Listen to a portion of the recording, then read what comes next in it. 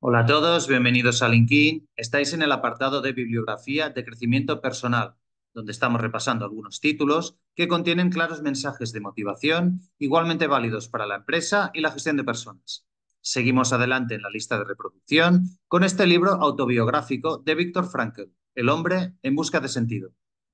El autor, superviviente de varios campos de concentración nazis, entre ellos Auschwitz, nos explica en la primera parte del libro esa terrible experiencia en este sentido, es un libro semejante a otros que narran esas mismas vivencias. Os paso aquí algunos títulos más por si queréis ampliar.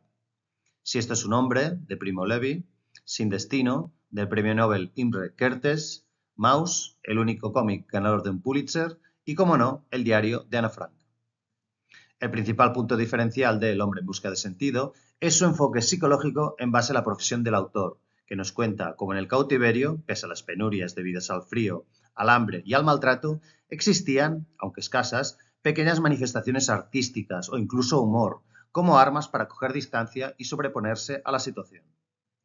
Aun siendo prisioneros, siempre queda el reducto de la libertad interior y la permanente posibilidad de elegir los pensamientos y la forma de conducirse, por estrecho que sea el margen.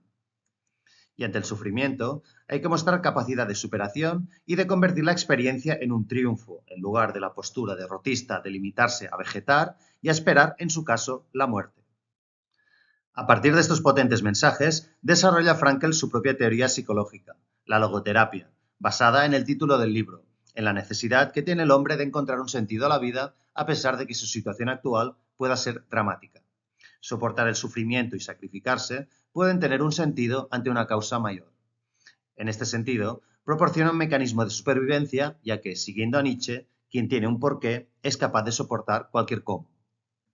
El autor considera que una cierta dosis de tensión es necesaria para avanzar. Por el contrario, la tranquilidad de espíritu la ve como negativa, ya que evitar la búsqueda de sentido es eludir la responsabilidad vital, supone caer en el hastío, en el fatalismo o sencillamente en el aburrimiento. Un inciso. Esta sensación de angustia y absurdo de la vida, sin embargo, ha dado buenas obras literarias en la conocida corriente existencialista. Os menciono algunos títulos representativos del movimiento. El extranjero, de Camus, El castillo, de Kafka, El tedio, de Moravia, El doble, de Dostoyevsky, El desierto de los tártaros, de Buzzati, o la obra teatral Esperando a Godot, de Beckett. Vamos con el penúltimo punto, no se puede generalizar, sino que se debe estudiar el caso particular de cada individuo.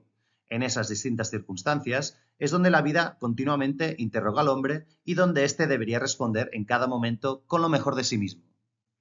Por último, la logoterapia plantea que seamos conscientes de nuestra responsabilidad personal y nos propone para ello una frase muy reveladora. Actúa como si vivieras por segunda vez y la primera lo hubieras hecho tan desacertadamente mal como estás a punto de hacerlo ahora.